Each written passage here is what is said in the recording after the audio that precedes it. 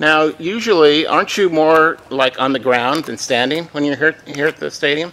At times, ideally, I like to stay on my feet and then not be shot on very much. But uh, it's a indoor soccer is a, a very fast-paced, high-volume shot uh, game. So It, uh, do- it doesn't seem like any indoor keeper gives up too many goals up high.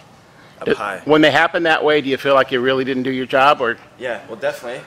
Being that the uh, the goals tend to be uh, a, a lot smaller than the, the outdoor game, um, the shots tend to come in at a lower level.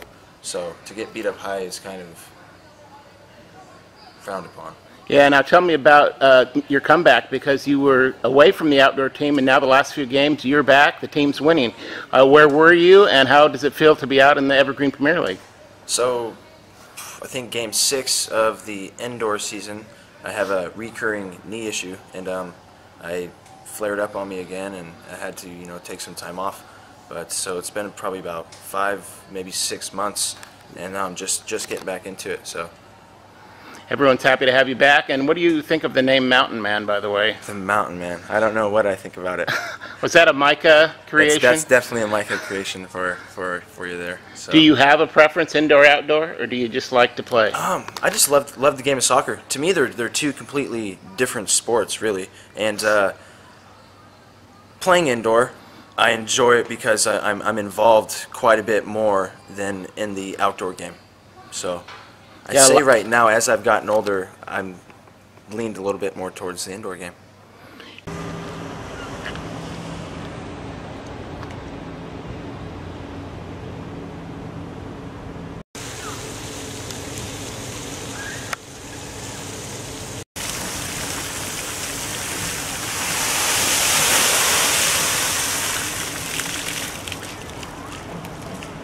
Had a little bit of a jump start in that uh, the Pumas had uh, created a little bit of a, uh, had, had a good program going here at the facility. Uh, their ownership group decided to focus more on uh, their outdoor first team, and so it was good timing for us to step in and create a community-based team. We looked at it as a way of bringing community into the center and, and doing outreach to the players and bringing people into the facility so they could see and experience soccer. Uh, so we picked up local community guys as well as some that had played last year and uh, had a very successful year. Uh, we went to nationals, uh, had a pretty decent showing down in Dallas, and uh, it, was, it was a great experience for all involved. We uh, catalyzed it though for both the men and eventually our women's team. And biting off both of those at the same time was the closing of the soccer program at Olympic College.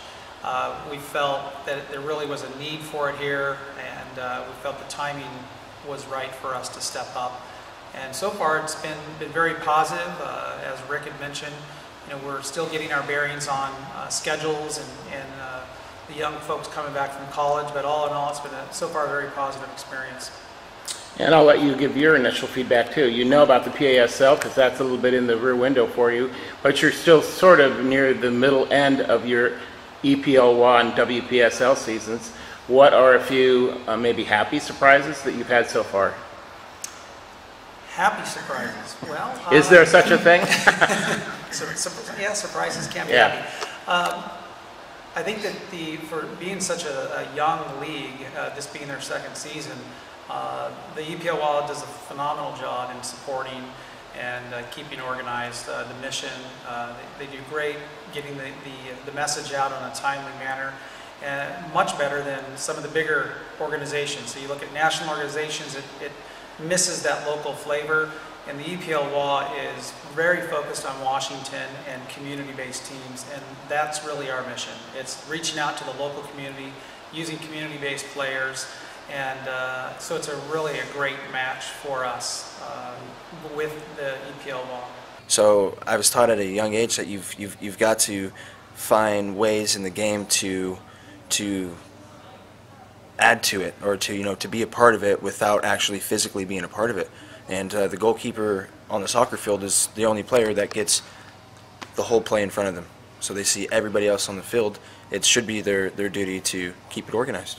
And you stay mentally involved in every play that way and every touch. Correct. Uh, tell me about your life in Bremerton. Are you a Bremerton kid? Where did you grow up? I, I am a Bremerton kid. Yeah? Uh, grew up right next to the Kitsap County Fairgrounds. Went to Olympic High School and uh, went away to college in the Bay Area at Notre Dame de Namur, and then came back here. And this is this is home for me. So what's it like having a team locally that can play in a statewide league like the E EPLWA? I think it's I think it's great. I mean, I've the opportunity to continue playing at, at, at a high level is is there now. And in, in the past, growing up, I don't remember any any of this stuff, indoor or outdoor, being here. And it's it's I think it's a great thing for the, the community and in, in moving forward. All right, David, thanks for the chat. Yeah, thank you.